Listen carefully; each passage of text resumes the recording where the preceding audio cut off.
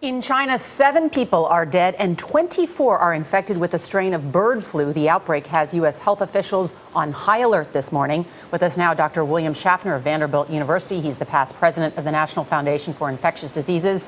Doctor, good morning. Uh, how concerned are you about this outbreak and that we see the death numbers continue to rise? Well, hello, Nora. Good to be with you. Yes, we're all got our eye on this outbreak of bird flu in China.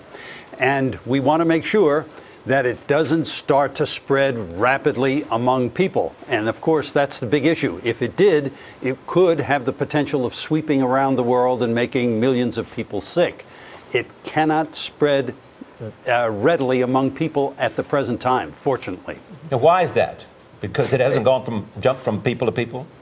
Uh, exactly. It doesn't have the genetic capacity to spread readily from person to person, Charlie, but the virus can acquire that capacity.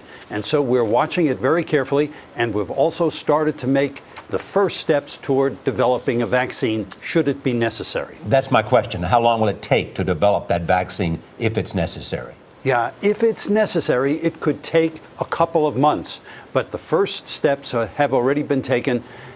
That that gets us off the ground very quickly.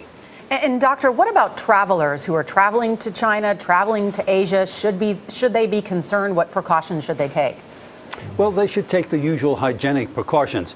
Uh, and we are all alert should a traveler come back from that part of the country and fall ill to get the appropriate specimens and send them off to our state health departments and to the CDC for careful testing.